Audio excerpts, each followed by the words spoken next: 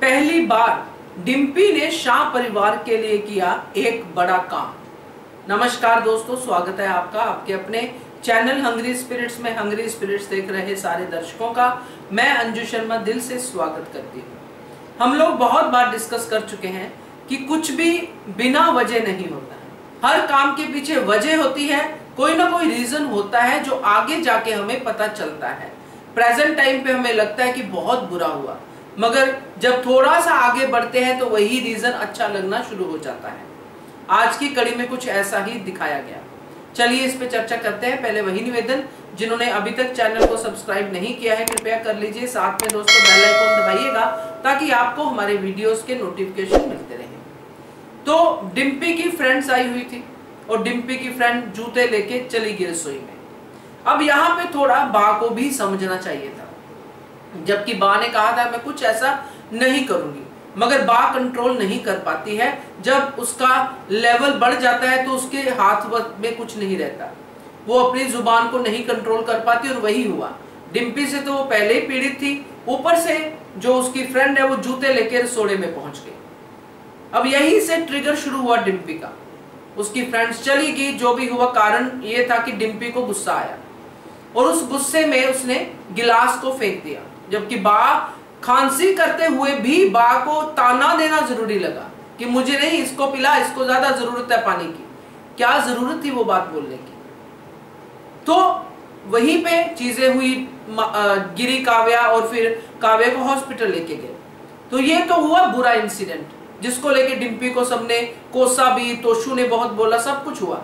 मगर इस बुरे इंसिडेंट का असर क्या हुआ? इस एक्सीडेंट में क्या अच्छा हुआ?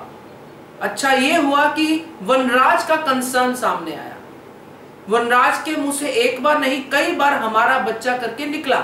जो इतने दिनों से काव्या सुनना चाहती थी, वो बातें सब वनराज के मुँह से निकली और अनुपमा भी खुश हुई।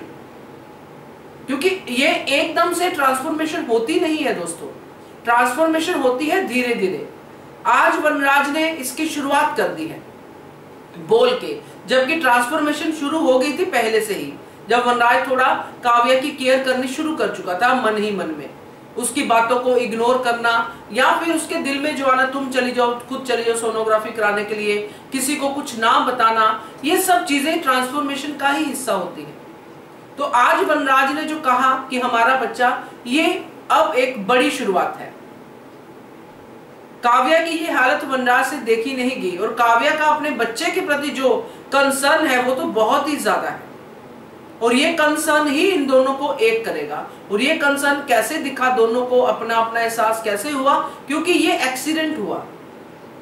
और एक्सीडेंट में गिलास किसके हाथ से गिरा? डिम्पी के हाथ से। डिम्पी ने गिराया, बा के हाथ से गिरा, वगैरह वगैरह। मगर एक्सीडेंट के बाद अब जो डिम्पी ने कहा कि आप जैसे समर उसको समझा के गया कि गुस्से पे कंट्रोल करना, कुछ मत बोलना।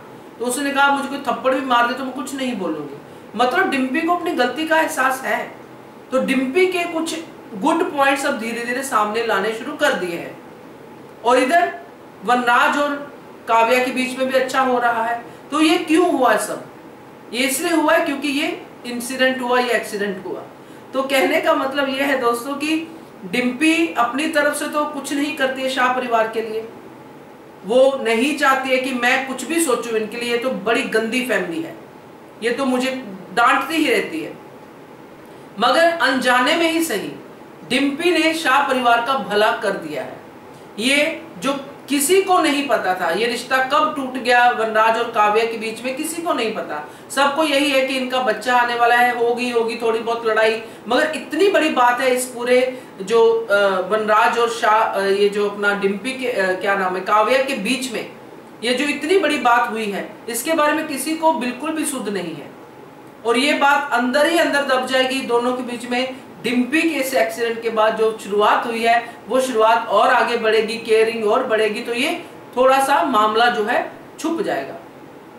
और हो सकता है काफ़ी देर तक छुपा रहे, मगर छुपा रहेगा नहीं, इतना हम आप जानते हैं। तो देखते हैं क्या होता है, मगर फ़िलहाल डिम्पी ने पहली बार शाह परिवार के लिए कुछ अच्छा तो कर ही दिया है। आपका क्या कहना है इसके बारे में कमेंट कीजिएगा देखते रहिए channel hungry spirit thank you so much Subscribe to our channel by clicking the subscribe button. Click the bell button and enjoy the latest uploads from our channel.